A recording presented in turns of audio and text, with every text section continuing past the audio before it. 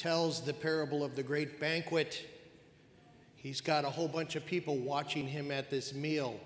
How is this itinerant preacher from Nazareth going to conduct himself? And he tells them, hey, when you're invited to a banquet, don't invite people that can invite you back. That's just some sort of uh, uh, narcissistic reciprocity. No, invite those who can't pay you back, those who are in need. Don't take the places of highest honor when you show up for things. Humility.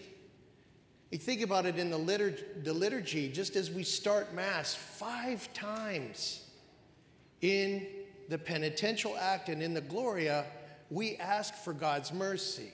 Why? Because we need to humble ourselves before our God. We need to humble our, we sin, we make mistakes. Humbling ourselves.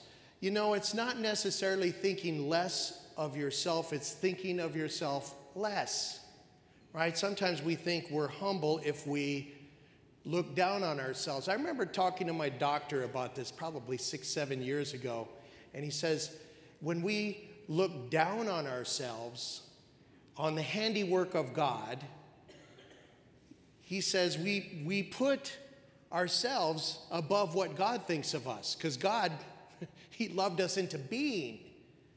And He says, That's idolatry, Father. And uh, he's a very passionate, daily going, Catholic, daily mass going Catholic man. Humility, thinking of ourselves less. When I think of a lack of humility. I, I go back to some of our seminary days. You know, if you want to know anything about the church, just ask a seminarian. I mean, I mean, we were in classes with these guys. I mean, Father Shea and I, we came through at different times, but we share our war stories about those who tried to impress cardinals and so forth. When they would come to visit, they'd stand up and ask these questions. Uh, Father Shea had, uh, uh, what we both did, had uh, Cardinal Arinze visit the seminary. Very outspoken, intelligent churchman.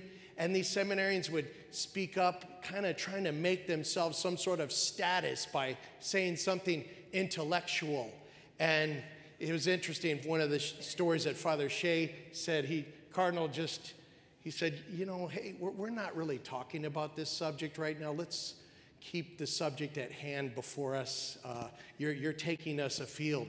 And I remember, I think we were in the library at Mount Angel Seminary, and the, some of the seminarians were congregating around the computer terminals that we had there in the seminary. And one of the priests from Seattle was there working on the, the computer. And you know these topics i mean it, the conversation among seminarians it's just not it's just not normal just not normal and they they were talking about uh, and i think about this tonight as we celebrate the vigil mass and some of these seminarians are so smart. They're like, no, no, the vigil mass should only be for people that can't go to Sunday mass.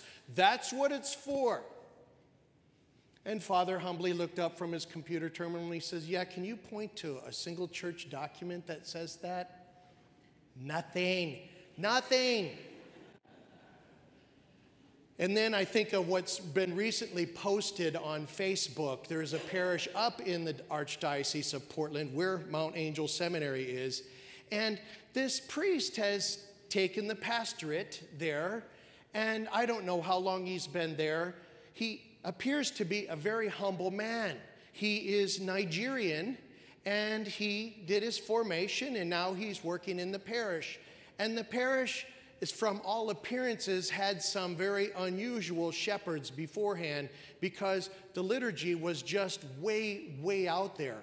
So he's slowly trying to rein people in, and they are flipping out. They are flipping out.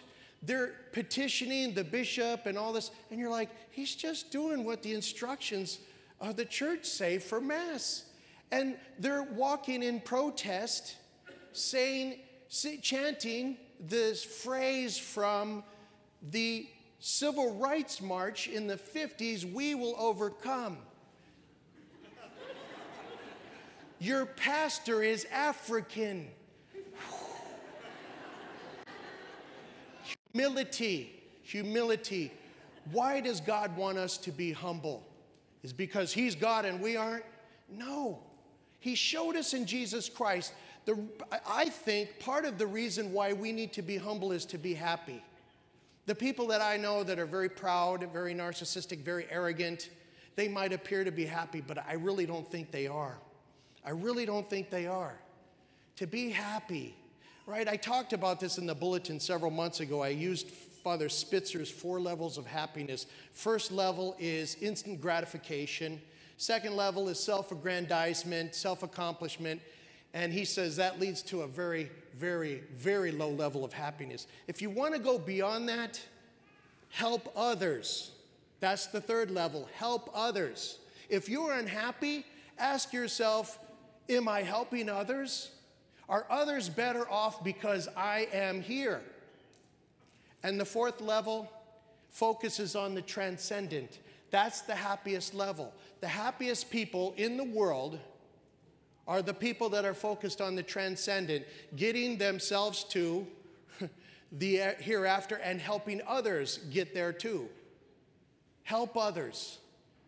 Thinking of myself, not less of myself, but my, less of myself less and helping others. There is a possible basic formula uh, to move from pride, that which makes us unhappy, to that which can make us happy. Humble ourselves before the Lord. This is the message. Thinking of ourselves less.